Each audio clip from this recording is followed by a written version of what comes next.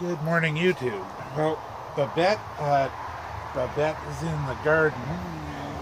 Sent me a message asking if I had ever tried. Um, well, actually, she sent a link to a YouTube video, and uh, the YouTube video was about a mosquito spray.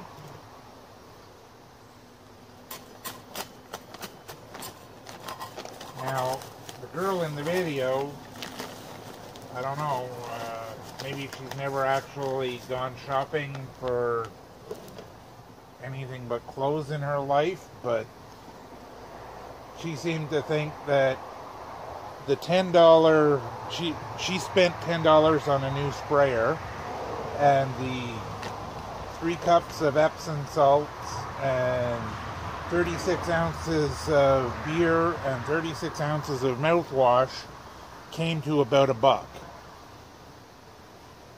So I really have my doubts as to whether this is going to work. There's all kinds of people videos up of this.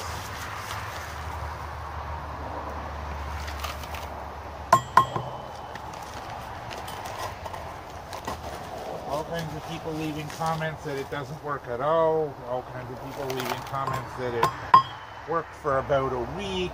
Uh, the girl in the video was saying it lasts about three months. I don't think there's any way in HE double hockey sticks that that's the case. But her video said it was to repel mosquitoes other people who have done the same basic uh, same basic recipe have claimed it reply, repels mosquitoes, black flies, deer flies, um, house flies, bot flies, horse flies,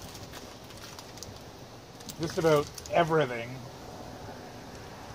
now, if it only works on one of those insects, it might be kind of a rough trade.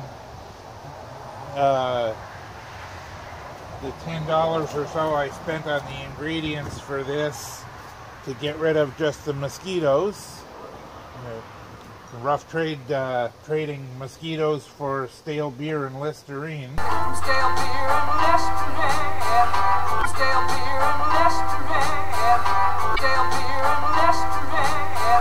Now, most of them say that you have to use the blue mint mouthwash.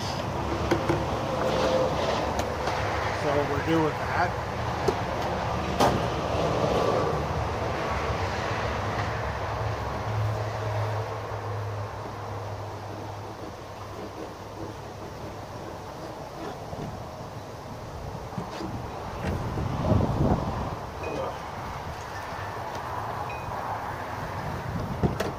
Stuff smells vile. Now, some people have also said that it works better with stale beer than fresh, but almost every video I've seen, they've used fresh beer. This was just the cheapest beer I could find. Um, that was a one liter bottle of, of uh, mouthwash and two 500 milliliter bo- or cans of beer. Uh, um, one liter is about a teaspoon less than uh, the 36 ounces that they were claiming is the uh, the measurement of choice. So I don't think we're going to worry about that.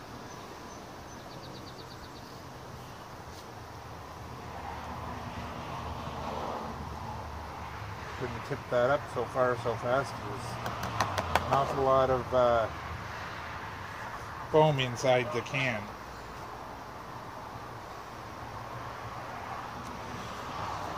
So, I don't know if you can see or not. You can see a definite line of Epsom salts, followed by a line of mouthwash, a line of beer, and a line of foam. Mind you, there's also only about two cups worth of uh,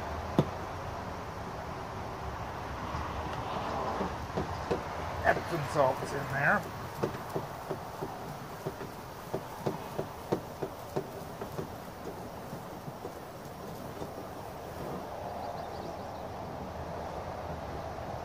Looks about as disgusting as American St. Patrick's Day beer.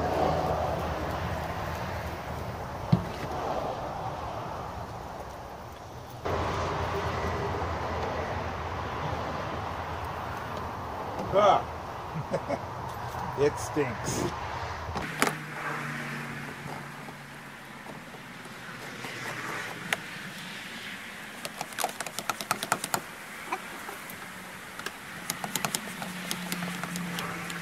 Actually, I guess on the garbage a bad thing.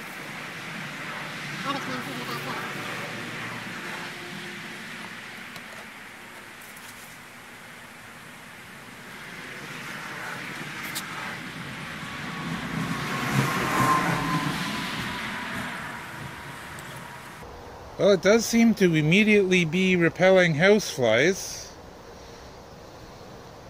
There were a hundred of them here few minutes ago. So that's it for now. We're going to uh, try this out, and I'll shoot another video when I have some sort of a, a quantitative uh, result. Okay, it's about 15 minutes later. You can see where I sprayed it along the wall underneath the porch. I sprayed it on all of the the uh, stonework here and all of the stonework inside the garden. Sprayed it on the stairs, sprayed it on the concrete porch. I sprayed it on the walls. I sprayed it on the ceiling, the soffit.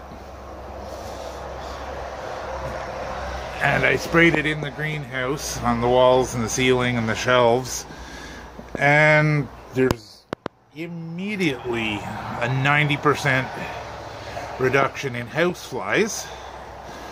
And unfortunately, by the time I went to get the camera, they'd filled their bellies and flown off. But there were three bees um, working the comfrey here immediately, well, 10 minutes after I finished spraying.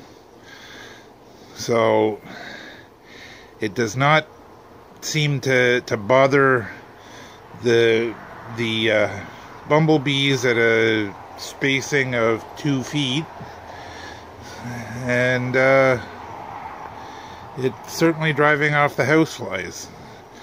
That's it for now and thanks for watching.